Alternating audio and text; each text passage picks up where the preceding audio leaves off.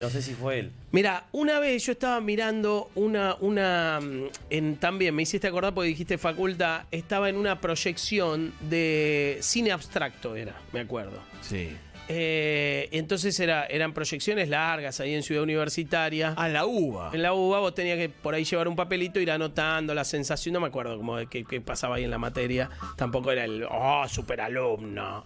Eh, pero entonces dice, bueno, trabajo práctico, qué sé yo, proyección en tal comisión, no sé qué, en la, en la sala de proyección, poner un proyector, no sé. Bueno, llegamos.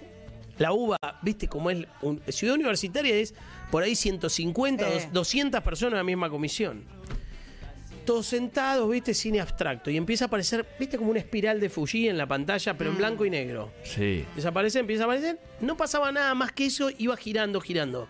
Pero vos tenías que volcarte a la pantalla ir pensando este, cómo estaba armado. Cine abstracto es- son cosas así. De golpe se veían unos pastos que se movían, se movían.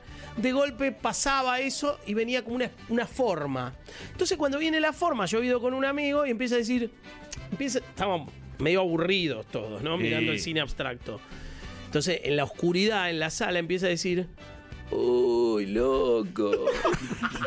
empieza a ser tipo Paolo el rockero. Claro. Claro. Dice, uy, Guido, mirá. en el silencio de la, de la proyección dice, es como una bicicleta.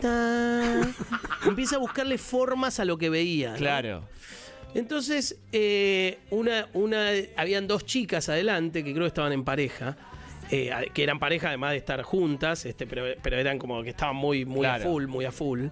Eh, entonces las chicas se hablaban entre ellas, no sé qué, yo las había visto, es- estaban bien, se, se besaban, qué sé yo, y nosotros estábamos como... Y entonces, y miraban y comentaban y anotaban, y, y entonces en un momento dice, "Shh", le dice a mi amigo, "Shh". Estaban adelante, viste, adelante nuestro, todo oscuro. Entonces yo le digo, pará, pará, le digo, no, no quiero decir el nombre. Y entonces digo, pará, pará, pará, que se, te- se van a calentar. Porque sentía que estaba picante. Dice, uy, loco, es como un conejito. Él seguía Seguía. con su chiste. Claro. Y ellas tenían como un vasote grande con una bebida, un jugo, no sé qué. Y en el medio de la oscuridad, No. agarran el vaso así y una levanta el vaso toda tranquila y lento se lo vuelca todo en las Claro. bolas, en las bolas a mi amigo. Claro. En el medio de la oscuridad y yo lo veo y escucho el ruidito todo empapado. Y fue tremendo porque mi amigo le agarró una bronca. Yo nunca lo había escuchado tan agudo. Le toca el hombro a la chica y le dice, perdóname. ¡No!